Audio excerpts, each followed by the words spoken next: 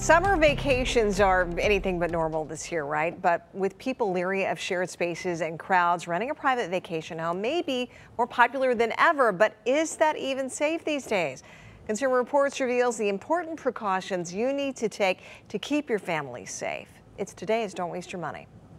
Sensing her family badly needed a little R&R, Nancy Vargas went on Airbnb and rented a home in Orlando, Florida a big reason why we went with an Airbnb home versus staying at a hotel was that it was just going to be us in this immediate area, and we felt that we were protecting ourselves um, during this time. If you're planning on renting a vacation home this summer, here are some steps you should take to minimize your risk of contracting or spreading the coronavirus.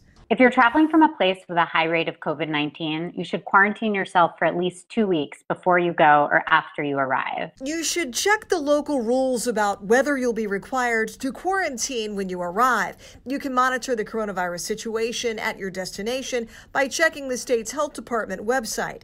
It's also a good idea to check the refund policy on your booking, particularly regarding the terms if there is a COVID 19 outbreak in the area or new travel restrictions are put in place. Ideally, the property should already be disinfected prior to arrival, but to be safe, you could also do a thorough wipe down yourself, making sure to clean high touch surfaces like counters, faucets, doorknobs, and refrigerator handles. If you want to be extra cautious, you could re-clean all the dishes, and since a normal wash and dry cycle is generally enough to get rid of the coronavirus, clean sheets and towels provided in the rental should be safe to use.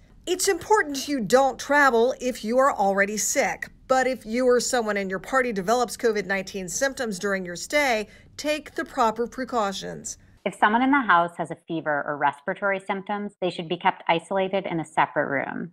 You can call your doctor for advice and notify the local health department as well as the host.